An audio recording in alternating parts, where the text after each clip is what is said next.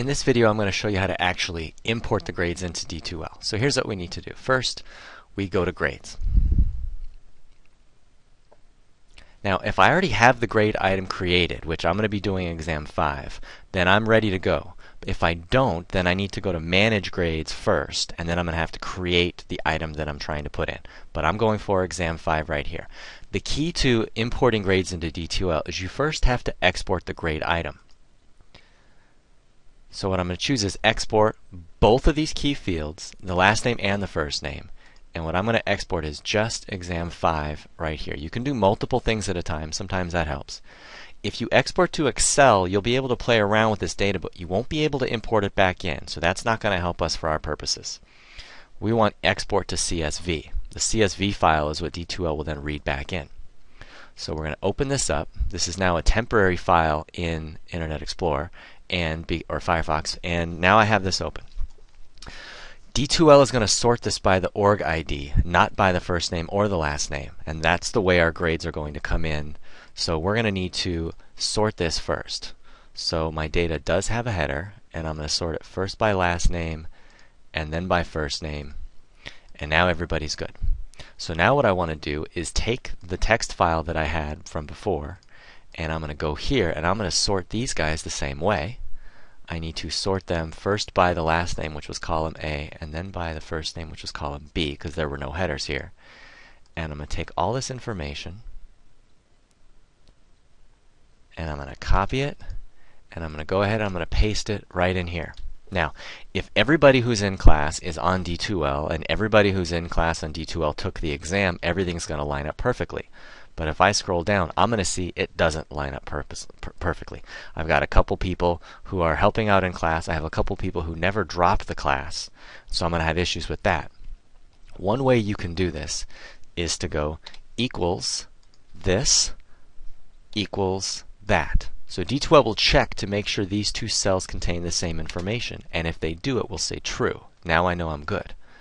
And then what I want to do is copy this formula all the way down. So what I'll do is go on my cell, go to the bottom right. When this turns into the little black plus, I double click.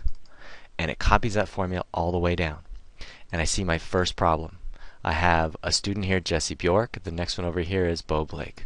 Or Blake Bo. Is down here. What happened was Jesse Bjork apparently didn't take the exam for some reason. So I need to get rid of him. So I'm going to go over here and I'm going to insert text and shift everything down. I don't want to necessarily, or I could do the opposite and delete everything up here and shift everything up. It's just that everything has to line up. And so then I redo it and I see I have another one. So I'm going to go through and correct all of these. I'm going to pause this, correct all of these, and then tell you when everything lines up. I'll come back in. Okay, I've gone through and I've placed everything in, but you need to be careful because occasionally you'll get a false when it's really the same person. All right, Patty Johnson accidentally put a Q instead of an O here, but that's clearly the same person. And I had another one down here with uh, Andrea Northey who ran out of space with Northey and put an asterisk there. So, but that's the same person. And that's the key, is that once every single person is aligned and all of these are true that should be, right? The only falses are when there's a space because that person didn't show up.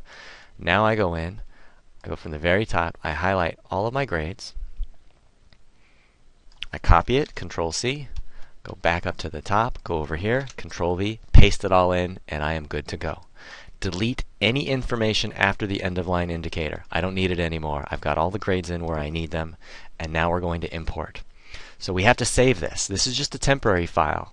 So what I do is I save it onto my desktop as an item called test. And every time I'm importing, I call it test. And every time it asks me, this already exists, you want to replace it? Absolutely. I want to replace it. I now have a new thing first warning you get is this is a CSV file. Are you sure you want it in this format? Yes, you do. You do not want to convert this to anything other than CSV because that's what D2L is going to read. So keep it in that format. Now it's saved. Now when you close this, which you need to do because you can't import the open file, it's going to ask you again, do you want to save it?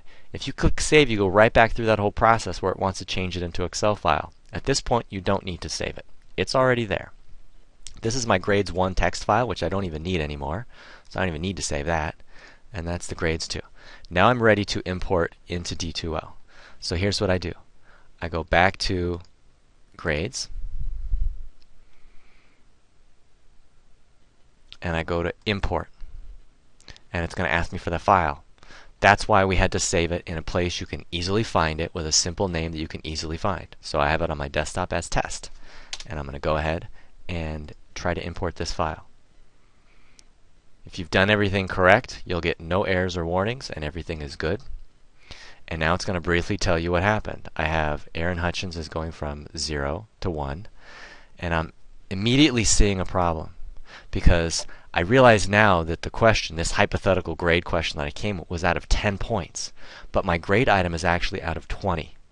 And that's a problem because otherwise everyone's scores are going to be half as much as they should be. So I'm going to go ahead and I'm going to cancel this. I'm going to go back into Excel and I'm going to open my test file as a CSV.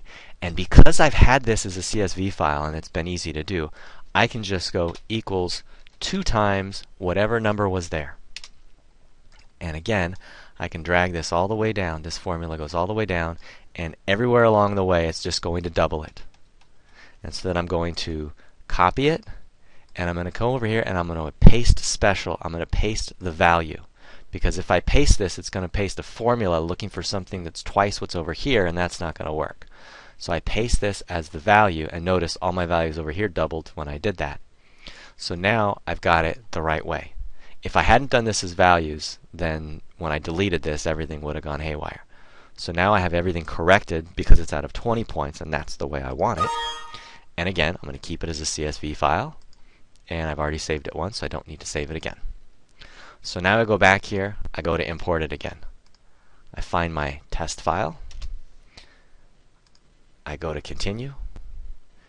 No errors or warnings. And now I see everything's out of 20. That's the way it's supposed to be. If I hadn't used the import feature and just typed everything in by hand and then realized that I had screwed up and it was everything was supposed to be twice as much, I'd have to change everything by hand again. And that would be way too much work.